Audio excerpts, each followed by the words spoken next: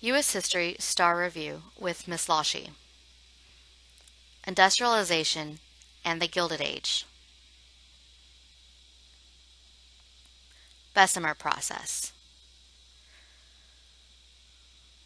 Previously, it took a day to produce 5 tons of steel. The Bessemer process enabled 5 tons of steel to be produced in only 15 minutes. Steel became more readily available. Railroads and skyscrapers began to appear across the country.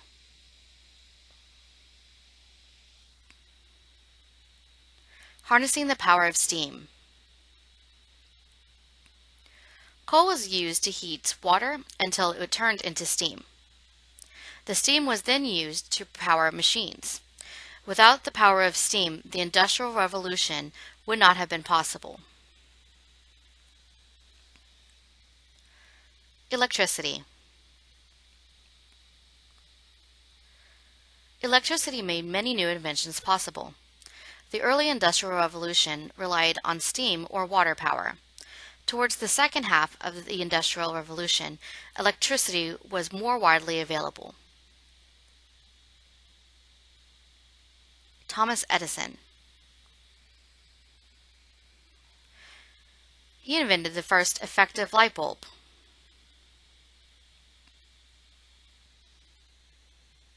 Alexander Graham Bell. He invented the first telephone. He used telegraph wires to transmit audio across great distances.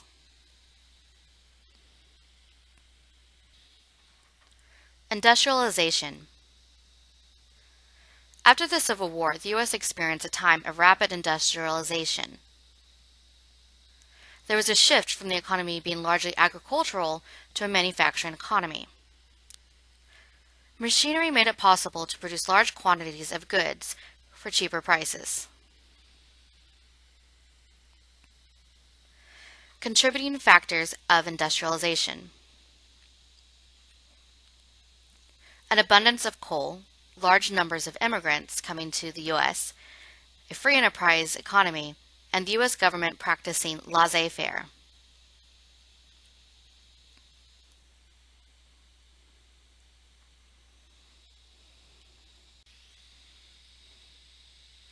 Railroads began to cover the countryside.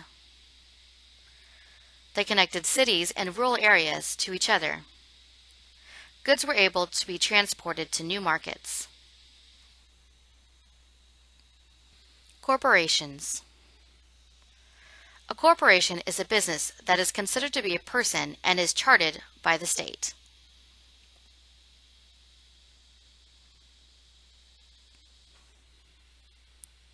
Shareholder Corporations sell stocks or shares of their company. A shareholder has partial ownership in the corporation and shares in the profits. Urbanization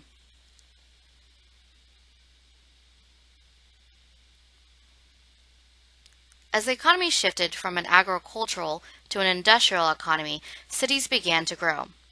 People left farms in the rural areas in search of industrial jobs in urban areas. Settlement houses. These were community centers for immigrants. Settlement houses sought to educate, provide health care, and help with obtaining employment. Jane Addams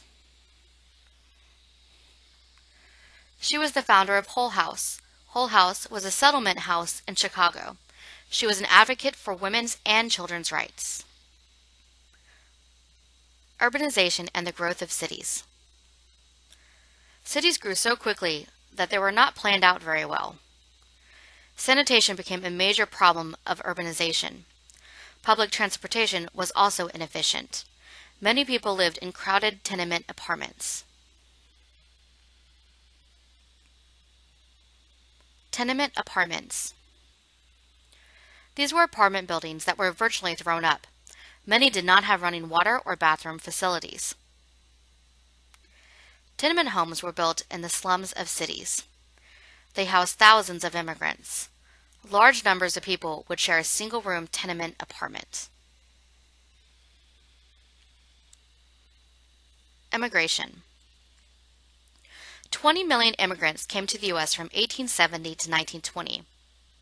300,000 Chinese immigrants came to the U.S. from 1851 to 1883. Many worked building railroads. There were two waves of immigration during the 1800s with old and new immigrants.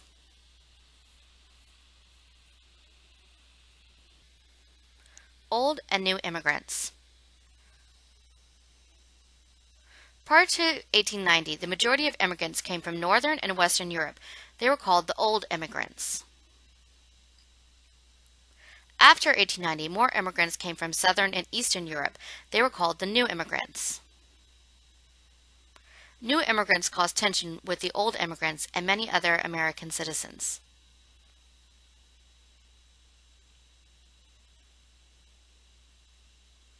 Immigration push and pull factors. Immigrants came to America for many different reasons. Push factors. These are factors that make someone want to leave. War, poverty, religious or ethnic persecution, famine, and low wages. Pull factors. These are factors that make someone want to go to a new place.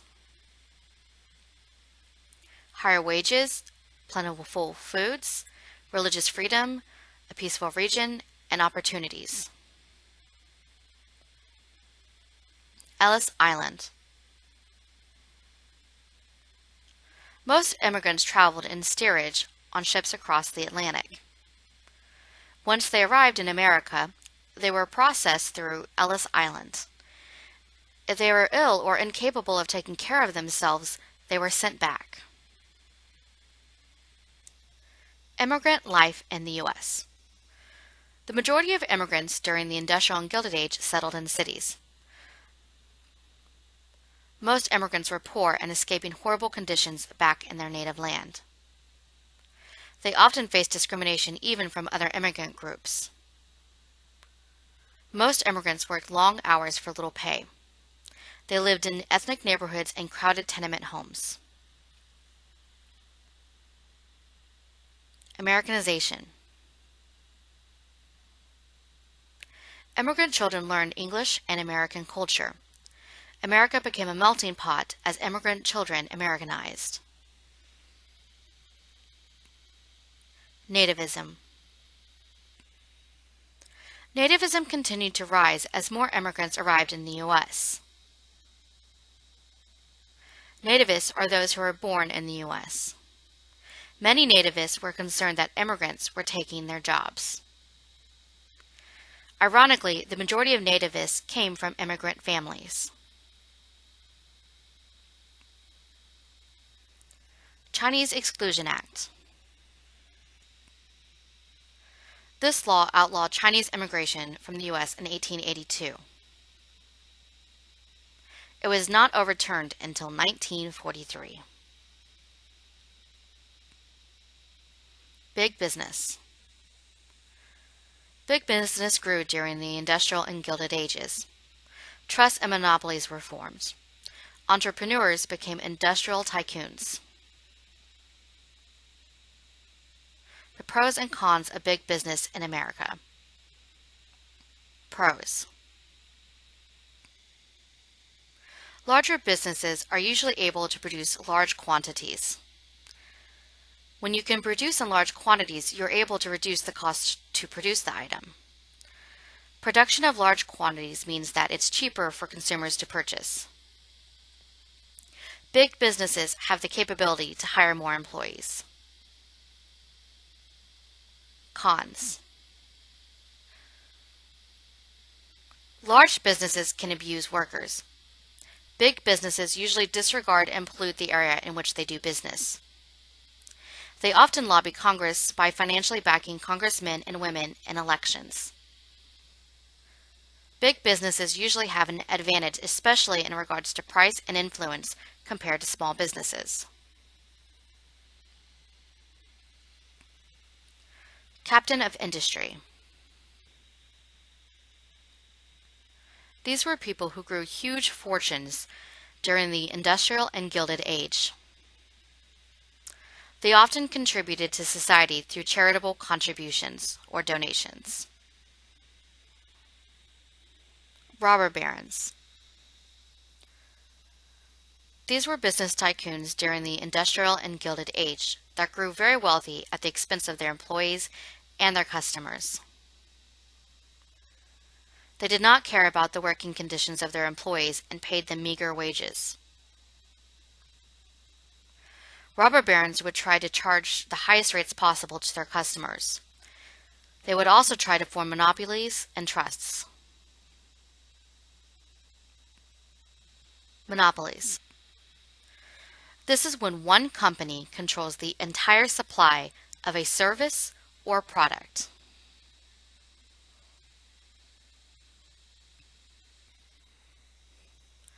Trusts.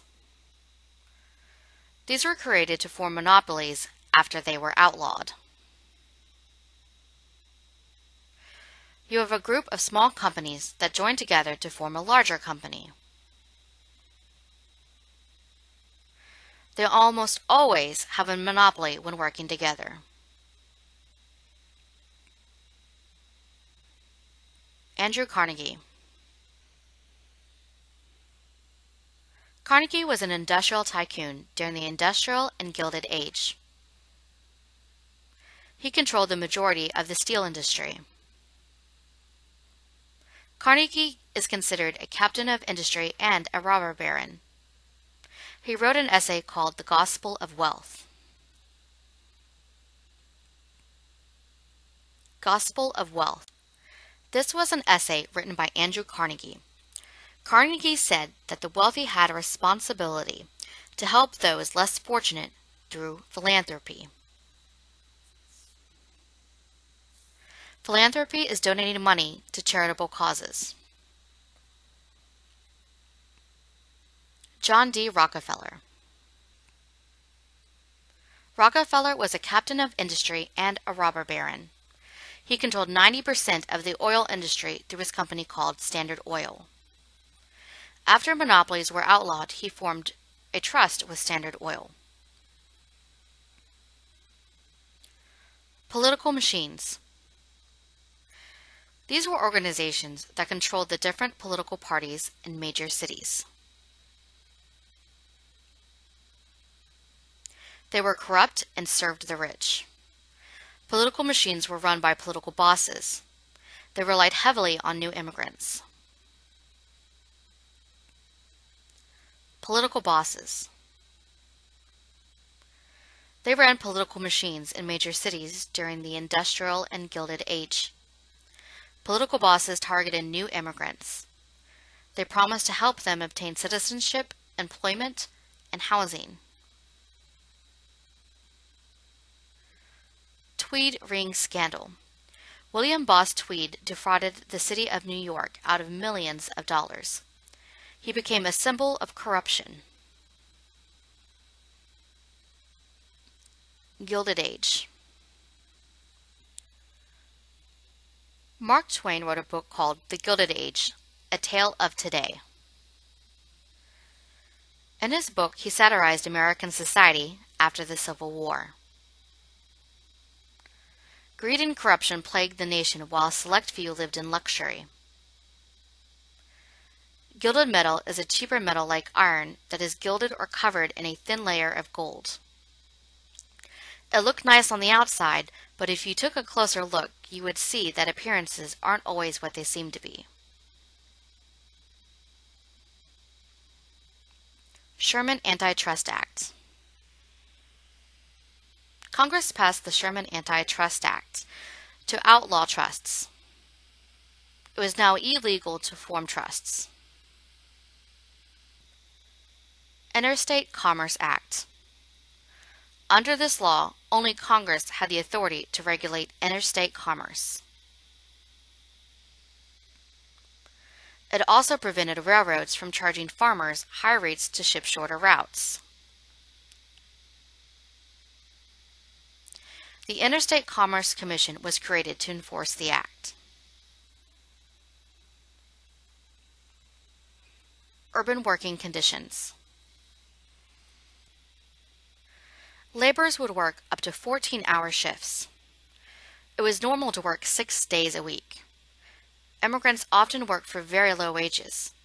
Women and children were paid less than men. Workers had no rights. There was no such thing as workers' compensation for injured workers.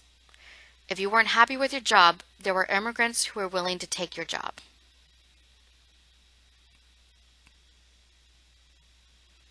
Urban workers discontent. They wanted higher wages. Workers also wanted to work shorter hours and have two days off. They were bored with doing the same thing for hours at a time.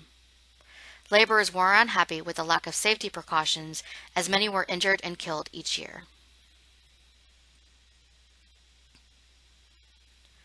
Children in the Industrial Age There weren't laws that prevented children from working. Children were often used for the most dangerous jobs, working in between machines and in coal mines. They were often injured and killed. 20% of the nation's children under 15 years old were working in the factories. Workers stand up for themselves. Unskilled workers had no job security, as they could be easily replaced. Unions became popular for workers. Strikes were a popular tactic of unions. Unions.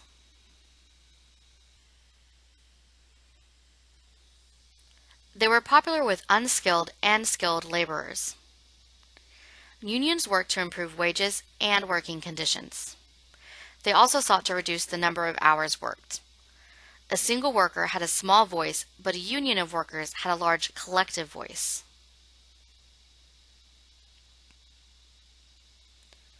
Knights of Labor Unskilled and skilled laborers formed the Knights of Labor in 1869. The skilled laborers resented being in the same union as unskilled workers. The union took off in the 1880s with Terence Powderly as their leader. Despite growing in size, they were never able to organize properly and had several failed strikes. American Federation of Labor Samuel Gompers founded the American Federation of Labor, AFL, in 1881 the AFL kept skilled and unskilled workers in different unions that were united in a federation. Unskilled laborers were still often excluded despite making up 90% of the population. They worked to improve working conditions and to reduce the workday to eight hours. The AFL wanted closed shops, creating greater job security. Closed shop. Businesses where only members of the union were hired.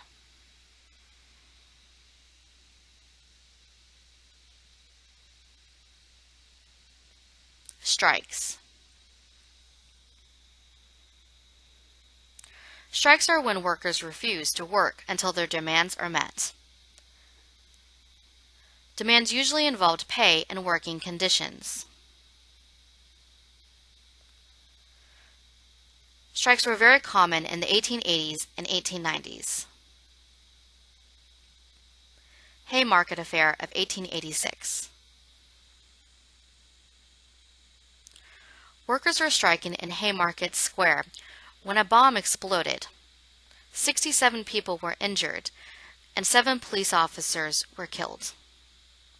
Many people blamed the union workers for the violence.